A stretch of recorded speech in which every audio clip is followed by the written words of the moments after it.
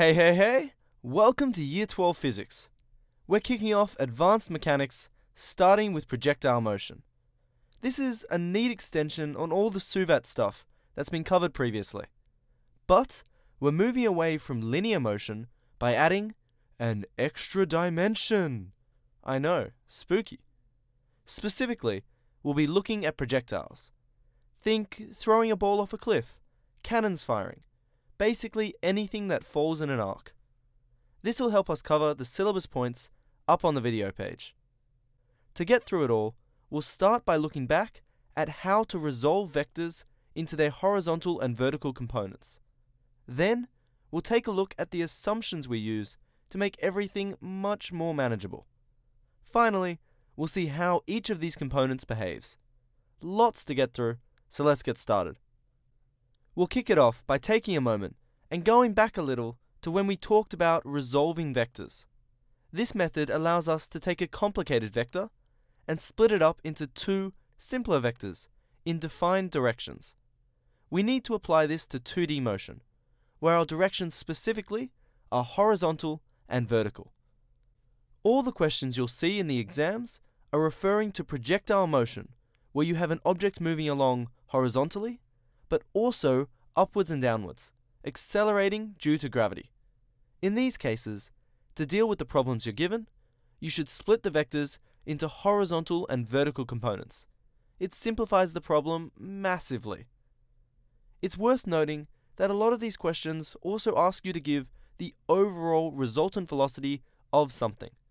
So, after you've split the situation into two components, you'll need to add the perpendicular vectors back together to find the overall magnitude and direction of the resultant vector.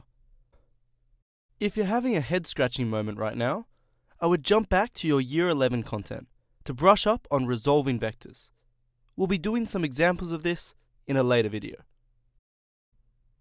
Okay, so we know how we would split the problem up, but before we get going with some questions, we have to introduce a couple of assumptions. Firstly, and most importantly, we say that the only force that acts on something moving and falling is gravity. This might sound a bit obvious, since it's just flying through the air. The catch comes from this air though. It's lovely for us, you know, providing oxygen, allowing life on Earth to thrive. But it's less lovely for motion through the air because of air resistance. This is basically a force that acts against the motion of an object, slowing it down. Fortunately for us, we can just ignore all of this by using our assumption. It's a good thing to keep in the back of your mind though, and we'll touch on it briefly in the practical video later on. Then, the second assumption is that gravity is constant.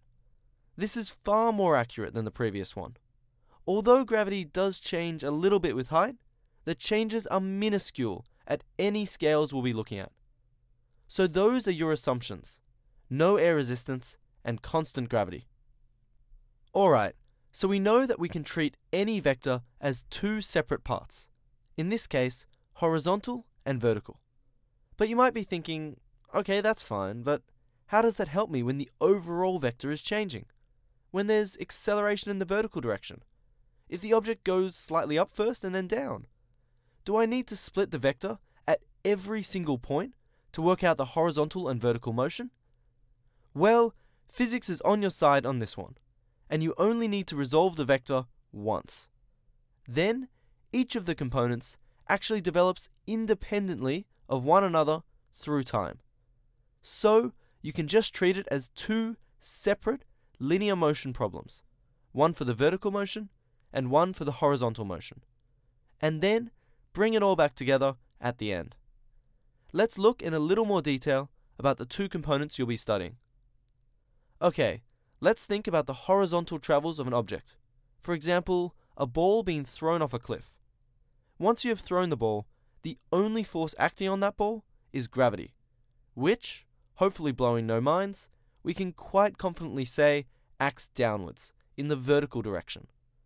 By our assumption that there's no air resistance, we can say that there's no force in the horizontal direction. Thinking about it, if you have no force, then you have no acceleration.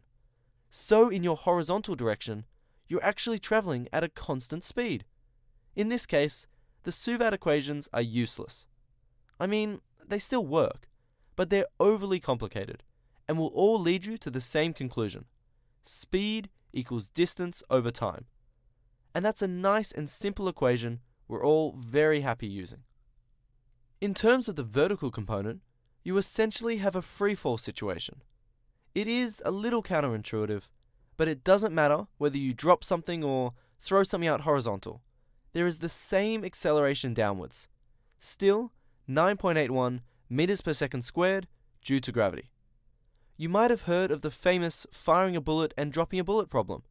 It says that if you fire a bullet horizontally and drop the bullet from the same height, then they'll hit the ground at the same time. Granted, one will be hundreds of meters away horizontally, but they do in fact hit the ground at the exact same moment. If you doubt me, Mythbusters did the experiment. Check it out. But anyway, you can basically ignore whatever is happening horizontally and just treat the vertical part of the problem as if you had an object traveling straight down. Here, you do need to use the Suvat equations, as you would with freefall examples. But it's a simpler problem. Okay, so you might be thinking I've just made you even more confused by introducing loads of new things but not actually concluding them. But there is a method to the madness, I promise. Make sure you're comfortable with resolving vectors into components and putting them back together through vector addition, and how we treat the two different components, and then the assumptions we use to make our lives easier. And then, then we can start putting the maths into the mix. Have fun with all of that, and I'll see you next time.